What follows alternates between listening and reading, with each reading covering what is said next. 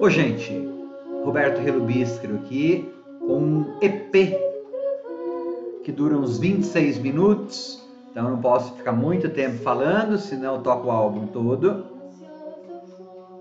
Esse EP é de um coletivo lá de Portugal, o Sopa de Pedra, formado por 10 mulheres que fazem pesquisa. Beleza!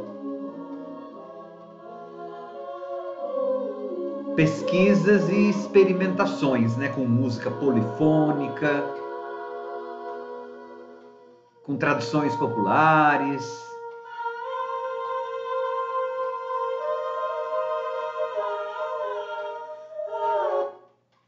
Do Claro Abreu, trovão. Isso aqui é tem sons da natureza gravados do Claro Abreu, porque a primeira faixa é o claro e depois a segunda, o resto do EP é sobre superstições portuguesas. São dois projetos diferentes, né, que foram juntados no EP. O Claro, que são poemas musicados, parte de um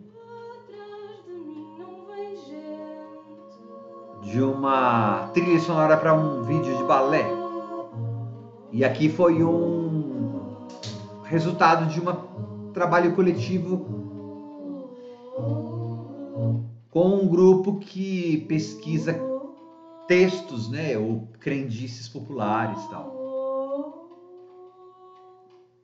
Que eles querem esse tipo de canto e algumas crendices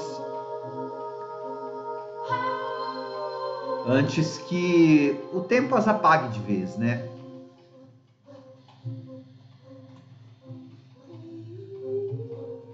E é legal o som desse coletivo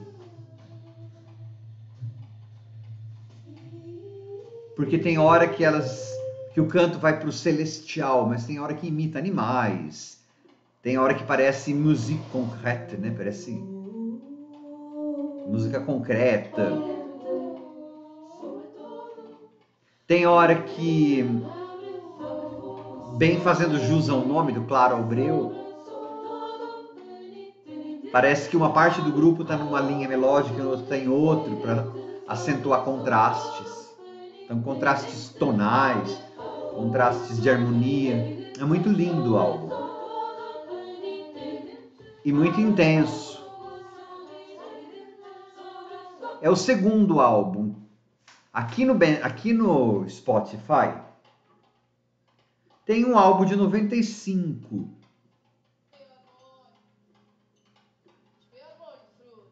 Que é listado como do Sopa de Pedra. Mas tem. É uma coisa meio fado, tem um monte de homem cantando. Nas referências que eu achei em outros lugares, não consta isso.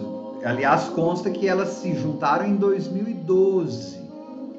Então é aquelas coisas do desses serviços de streaming, né? Tem o mesmo nome, tá colocado na mesma algoritmo, às vezes burrinho, né?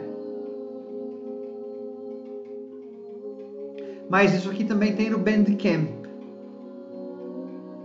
Ganhou destaque, inclusive, no Bandcamp. Foi lá que eu descobri. Eu vou deixar o link do Bandcamp na descrição desse vídeo. Então, acho que se tem no Spotify, tem em qualquer serviço de streaming. E também e também vou deixar no, o link do Bandcamp na descrição do vídeo para que você possa ouvir algumas vezes antes que eles comecem a cobrar, né? Então essa segunda parte do álbum, que é a parte da noite, vai para caminhos mais dark, mais escuros, assim. E isso saiu em vinil. Diz que é um vinil transparente, com capa transparente. Fiquei super curioso. Embora eu não tenha lugar onde tocar vinil, eu não tenho nem onde tocar CD mais, quem dirá vinil. Eu escuto aqui mesmo no spot, né? Mas fiquei curioso de ver o produto. É muito legal Sopa de Pedra, adorei a polifonia dessas moças portuguesas. Tchau, tchau.